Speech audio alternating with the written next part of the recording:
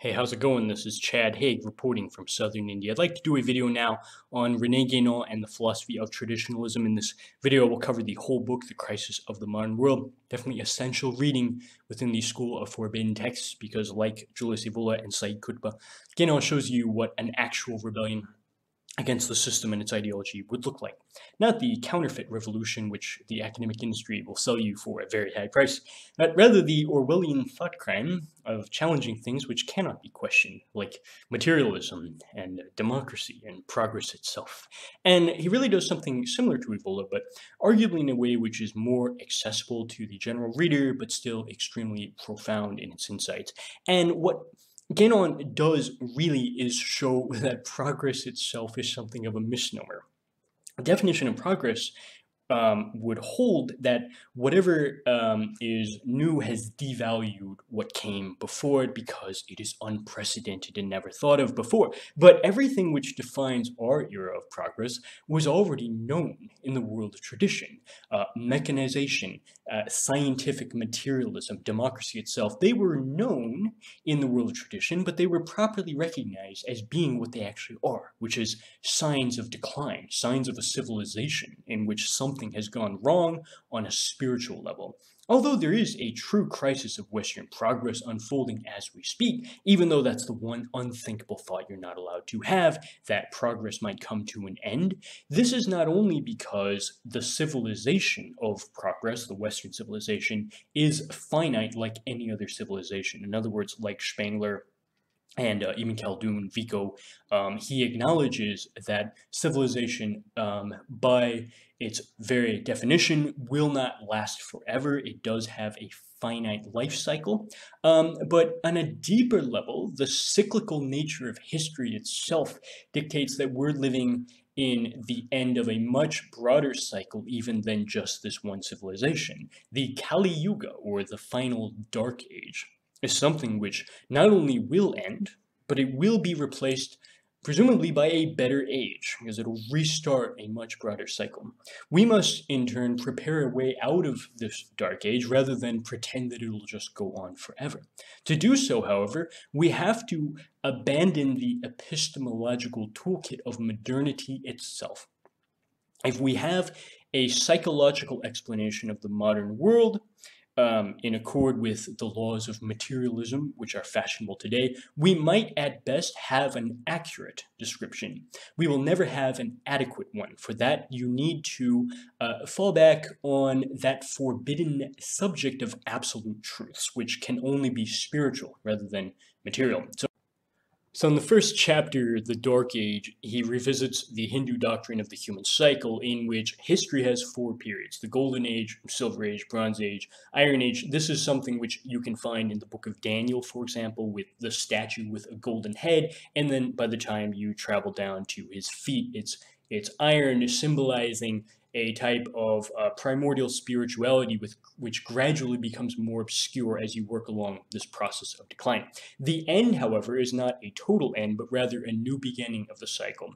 But this will mean, of course, the complete negation of anything which we've called progress, which is just the um, uh, growing materialization which naturally occurs as you fall away from the pure spirituality which would define the golden age. It is somewhat misleading, however, to speak of matter and spirit in the terms that we use them today. It is more proper to contrast the movement away from the principles of absolute truth with the return to them. Okay. Although it is true that we only have clear history from some 6,000 years back, this is not because the people before then were just a bunch of cavemen, as stereotype would hold. There were actually cities during that time, which was actually much more advanced in all of the levels that actually matter than our era. The only reason we have lost them is because they were made of wood rather than some more durable material. In addition, there was not a lack of knowledge in the Golden Age, there was actually a purified version of it. Philosophy in the modern sense of the term is itself an unprecedented and devastating deviation away from the kind of real knowledge which you had in tradition. And the most profane form which this philosophy takes is that in which it just openly celebrates its lowly status by proclaiming itself humanism, or merely human, and proclaiming itself rationalism, or merely rational by the standards of a single finite human thinker. On the contrary, tradition valued the kind of knowledge which is decidedly non-human, which is super-rational, which is true wisdom rather than mere conjecture.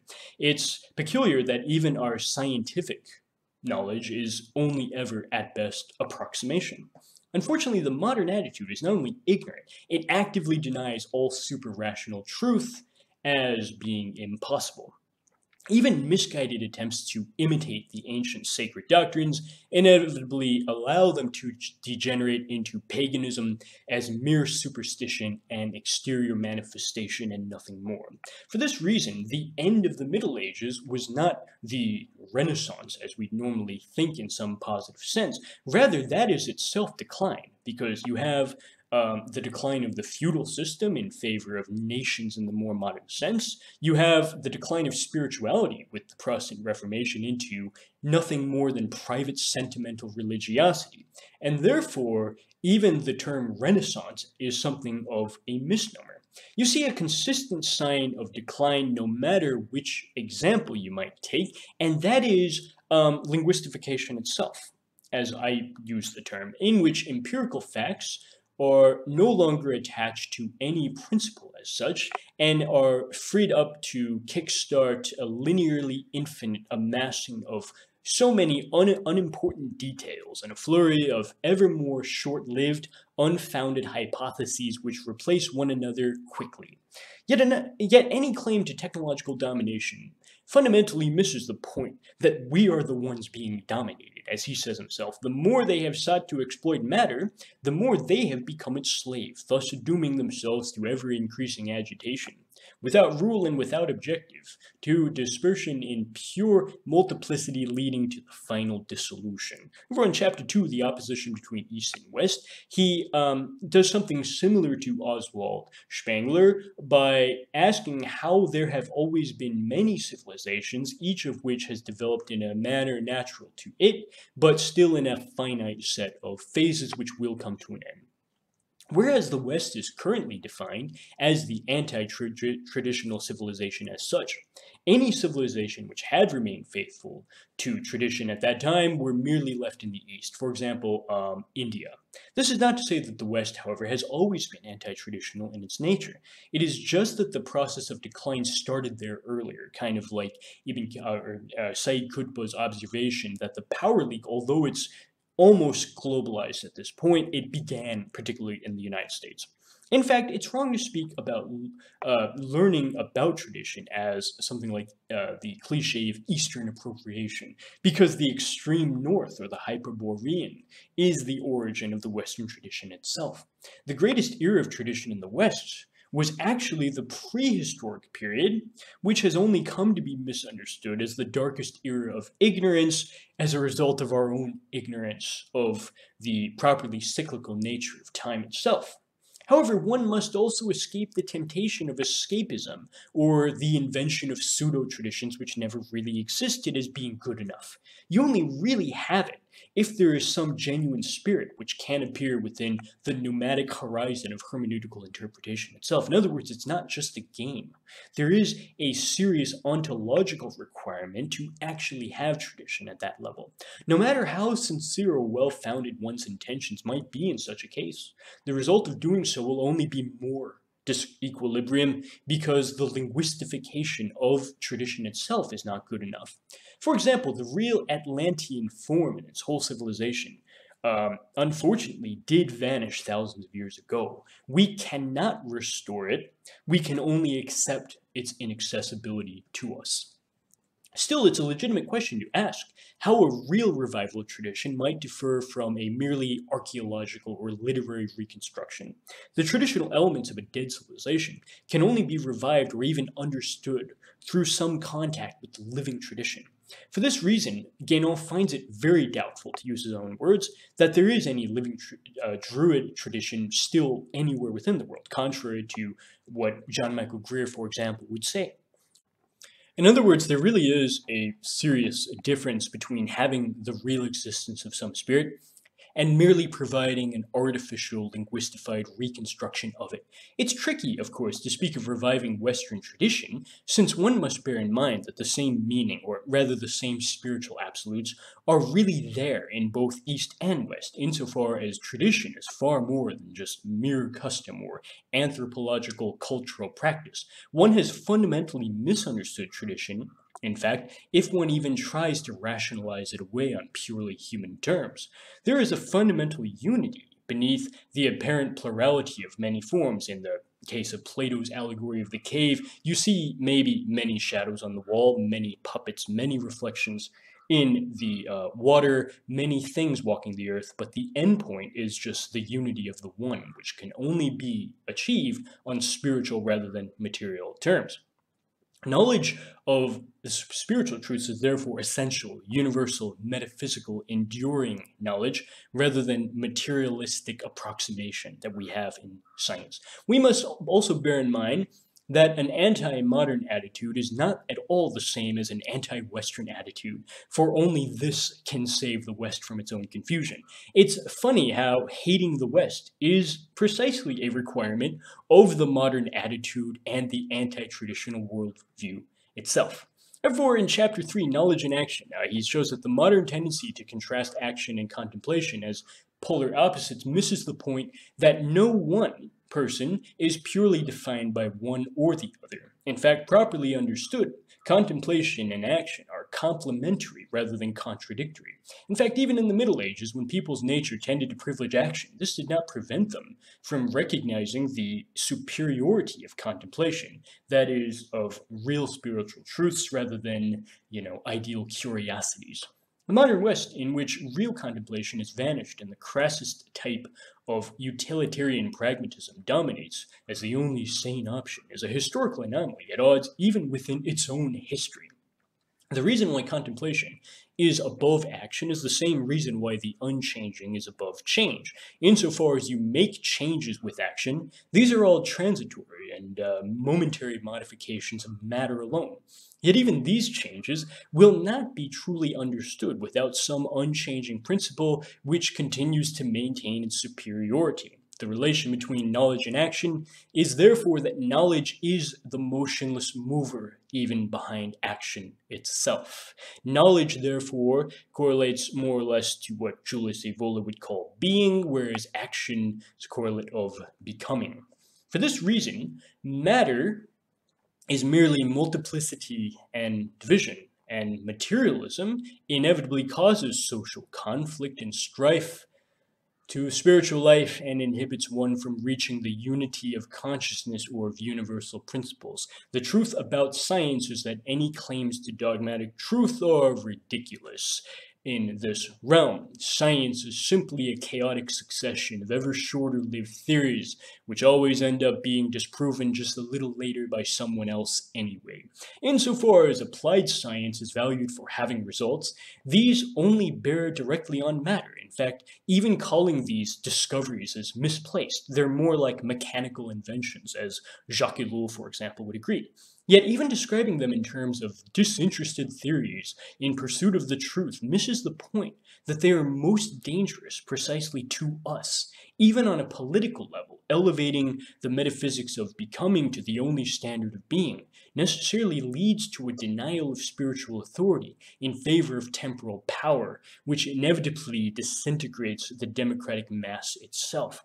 Over in chapter 4, the sacred and profane sciences, he notes the historical fact that you really didn't have rationalism before Descartes, but that was because it was recognized that intellectual intuition is the best kind of insight into actually gaining access to enduring and certain knowledge. What the quantitative methods of modern science miss is therefore that reality is qualitative in nature. There are different degrees of it depending on how near the principles you are. There is just one metaphysics and just one truth, contrary to uh, modern politically correct sensibilities forbidding such talk. And this is simply translated differently um, for different perspectives. He uses the metaphor of different languages of translation. However, this must not be taken too far into uh, the uh, in order to avoid the temptation of linguistification, which we have been criticizing all along. Even the non metaphysical sciences and tradition, by the way, maintain a different kind of unity than we are used to today. Physics for Aristotle, for example, is not physics as we understand it in the modern sense. It's rather an inquiry into nature in general, which really just means trying to grasp the general rules of the realm of becoming. Modern physics however, is not about all of nature. It has rather been subdivided to the point of utter absurdity, in which it is not possible for experts to talk to anyone outside their own sub, sub, sub, sub, sub niche. Yet it's all too easy to miss the deeper point that the real reason why it cannot be unified is simply the lack of a higher principle beyond matter itself. This need for a higher principle was explicitly recognized by Aristotle as he acknowledged metaphysics' superiority over physics, but also its connection to it.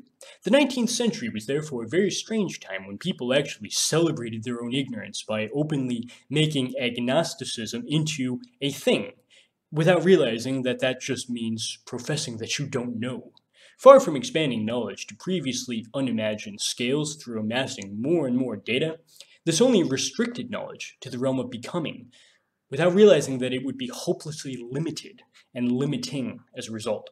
Far from deepening our knowledge, knowledge only became the superficial dispersion of many details in which one somehow could repeat the procedure infinitely without advancing a single step closer to the true knowledge, which remained fundamentally inaccessible to it as a result of its own restriction to the realm of matter. This makes sense since one only ever deals with probabilities and approximations within the realm of science. Yet this was only because one had intentionally confined, confined oneself to the world of ephemeral changes. Yet there's also a hermeneutical problem.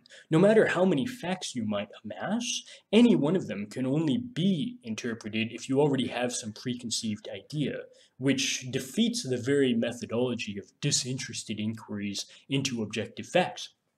In contrast with the empirical hypotheses regarding matter, which modern science is restricted to, tradition favored the direct intuition of truths which were infallibly known from the metaphysical order itself. The only reason why modern scientists have built up so many more empirical facts than their predecessors is that people in the traditional past simply had better things to think about. In comparison with the real truths of the metaphysical realm, this stuff was actually pretty dull.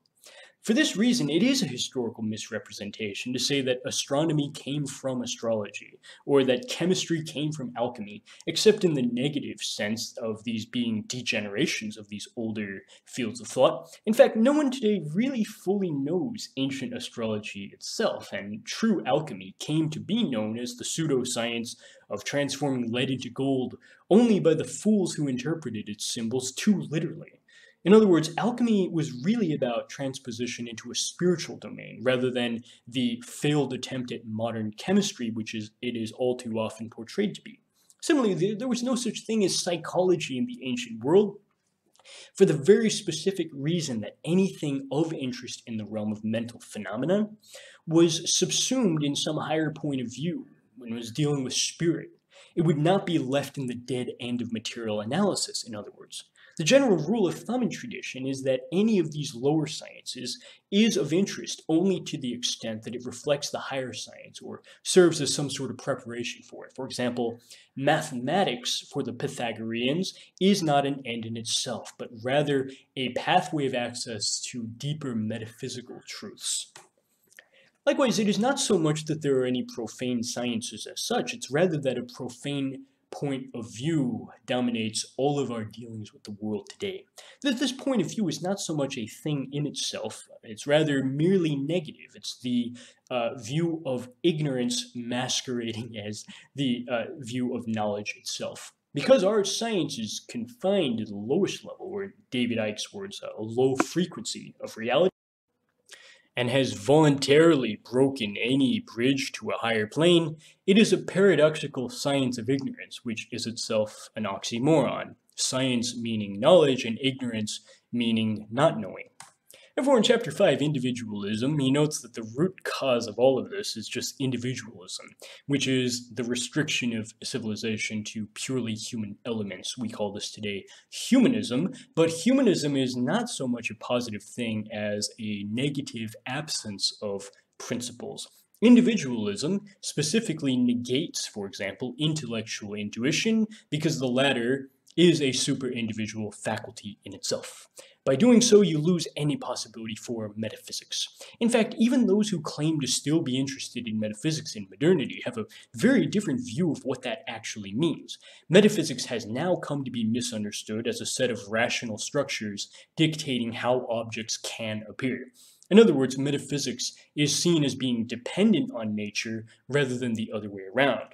Worse still, even those who are willing to posit problems in this realm won't ever get around to actually providing solutions for them.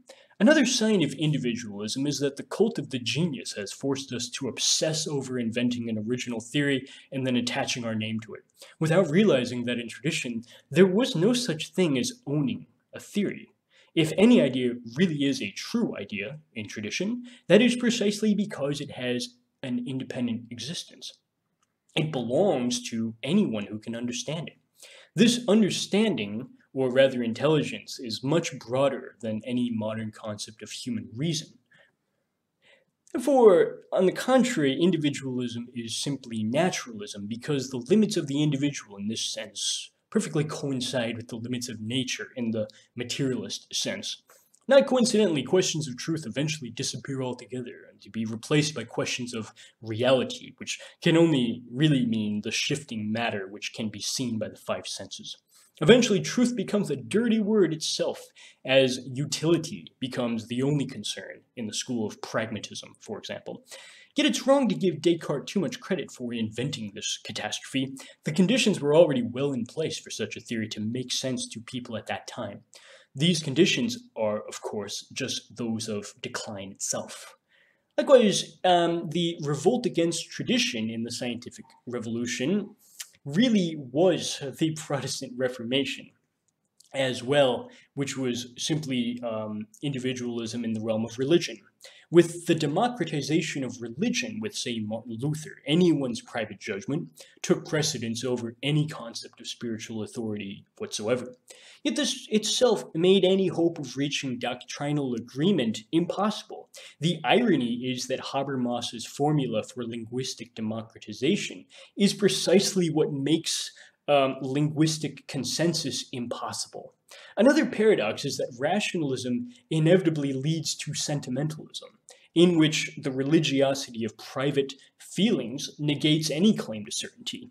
Naturally, even the people who practice the religion don't need to actually know anything about it, as obsession with morality overshadows any concern for doctrine. Even those who seem on the surface to be professional experts on doctrine, such as religious apologists, are actually more concerned about using debate as a means to an end to defeat their opponent than as any serious means of learning absolute truths of a spiritual nature. Therefore, in chapter 6, The Social Chaos, he shows that it is not enough to provide explanations of political problems from a merely sociological standpoint, because this sort of materialism lacks its own foundation and has to constantly begin anew. Instead, one must realize that political contingencies simply reflect the mental outlook of the time in general. Only a spiritual grasp of the truths of tradition can explain why, in the West today, no one any, uh, any longer occupies the right place that they should in the social whole. Yet this is precisely because there is no longer any such thing as a place for them to occupy because there is no such thing as caste, as unpopular as such a concept might be. In the absence of a caste system, anyone simply struggles to snatch up whatever work he or she can, rather than do what intrinsically feel, fulfills his or her own nature. The purely democratized Likewise, the purely democratized individual who is exactly like any other is a myth. If you negate the real qualitative differences among people, the result will inevitably be social chaos rather than harmony. As Julius Evola noted, the call for educational uniformity is simply the behaviorist idea that humans are just like Pavlov's dog. Anyone can be conditioned to do anything, provided you just control their environment and provide the right set of stimuli for them. Under this view, you don't have any excuse to not fit into some generic career role which the society has mandated for you. Of course, even the call for democratic communication has two exceptions. You're never allowed to discuss whether progress and democratic equality are legitimate, or even to find out what these terms actually mean. Democracy and progress, however, did not cause modernity through changing the world with an idea. Instead, they are ideological technologies which maintain the current system and are therefore espoused precisely by the same figures who profit from the status quo on a financial and political level. Nothing is more ridiculous than citing championing uh, democratic equality and progress as a rebellion against the system. In fact, any talk of ideas which change the world is ambiguous, since it overlooks the difference between the pure idea, which is accessible only in tradition, and the pseudo idea of linguistification with which we traffic today. The pseudo idea does not actually provide hermeneutical access to any independent spiritual truths. It is simply a social technology which intentionally provokes a certain sentimental reaction, specifically on the masses uh, as a collective rather than on a single individual thinker. The modern idols, insofar as we have them, are precisely made up of words, although the term idol was traditionally a spiritual matter.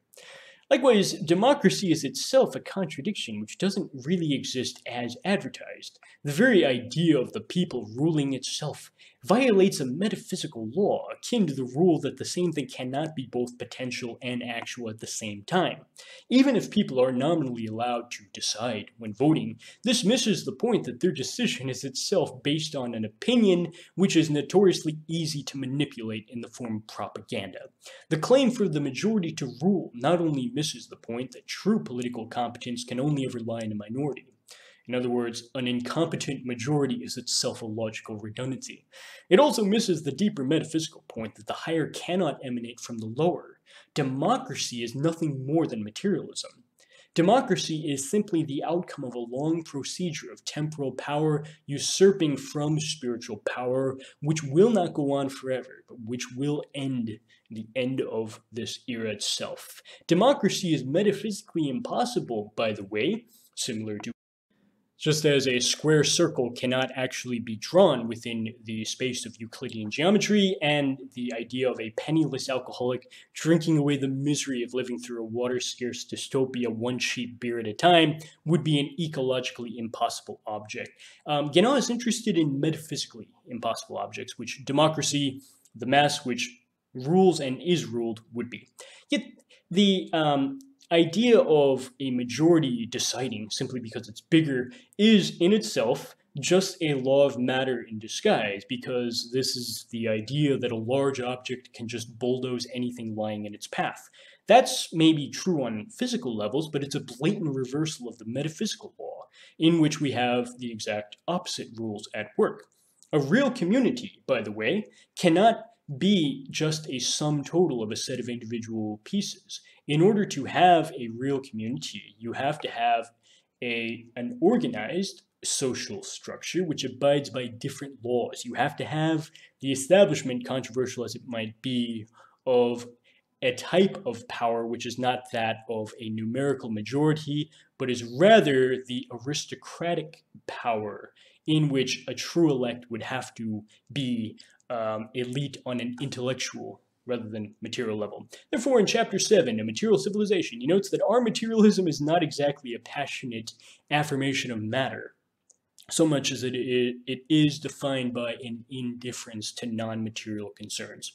Even on the occasions when we do imagine the other world, it's always in material terms. This is similar to uh, Varg Vikernes' claim in Vargsmål that um, even the uh, Christian monks who uh, you know, uh, have the ascetic mortification of the flesh. They basically torture their own bodies. That's only because they imagine that the reward they'll get in the afterlife is the same kind of material pleasure which they are denying themselves now. They miss the point of how a spiritual hermeneutics would um, be uh, something inapplic- uh, incomparable to the material objects we know, even when they try to think about heaven, says Varg Vikernes. Therefore, even religious sentimentality is materialism in disguise because the only question is how a certain religious experience makes you feel rather than whether you're getting any access to something that is true. Still, this indifference causes us to support applied science simply by default because it alone can provide immediate and tangible practical results. Science is therefore not distinct from the technological development of industry and machinery, because science already is the technological domination of matter, even when it seems to be functioning on a purely intellectual or epistemological level. Yet this does not make man the master of matter in any Frankfurt School of Critical Theory type of caricature, because it's rather man himself who is dominated and loses his humanity to become a machine and a slave as a result. Marx's claim that economic factors explain everything is therefore just the modern common sense of materialism in disguise. There's really nothing profound about that insight, contrary to what academic elites might say. And yet, it's also just plain wrong on empirical grounds, because the only thing which is constantly perfected on technical grounds in our society is not the economic production of goods, it's rather the destruction of war itself. This is why Jacques Ellul said technique cannot be equated with the Marxist concept of economic reductivism, because a lot of technology is actually not invested in producing, but rather in just blowing things up. Quite Quite fittingly, therefore, materialism is democratic, but only in the base sense that now anyone can die in war just as easily as anyone else. Yet this grotesque state was only the result of allowing the structures of feudalism to decay on the gamble that they'd just be replaced by something better.